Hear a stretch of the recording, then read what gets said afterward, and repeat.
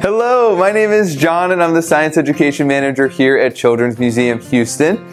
Now, at the Science Station and at Genius Station, we've done a lot of things on polymers, whether that's thermoplastics, we've talked about DNA, and we've even made slime. Now, one of the main ingredients of slime is glue. Now, glue is made of a polymer called polyvinyl acetate. And this is actually what part of the molecule looks like. So what I really want to focus in on is I want to talk about the difference between a monomer and a polymer and what it actually looks like. So let's get started. Here we have a polyvinyl acetate molecule with our hydrogens represented by the white, the blue is our carbon, and red is our oxygen. And we consider this to be a monomer because this is one part of a long chain that gets connected. So this is again the same molecule, has the same parts as the hydrogens, the oxygens, and the carbons, but it gets linked together. So let's continue linking these to demonstrate exactly what a polymer is.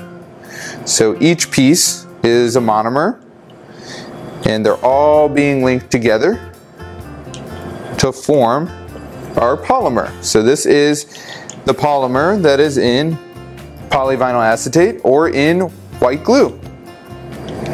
All right, this is my friend David. Wave to the camera, David. He's gonna go find some polymers for us. So go out on a hunt and see what you can find. Awesome, beautiful pumpkins. Not quite a polymer. Go out and hunt again. All right, what do you have here? Okay, pretty good. A magnet. Magnets aren't polymers, but all plastics are polymers. So you're getting closer. Now let's go find something that is just a polymer. Good luck. All right, here we go. A little food container. So 100%, good job. He found a polymer.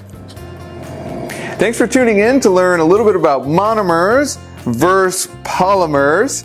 Now, if you guys are following us on YouTube, please hit the subscribe button to see all the new science stuff that's coming out every single day. And we'll see you at the next video. Bye.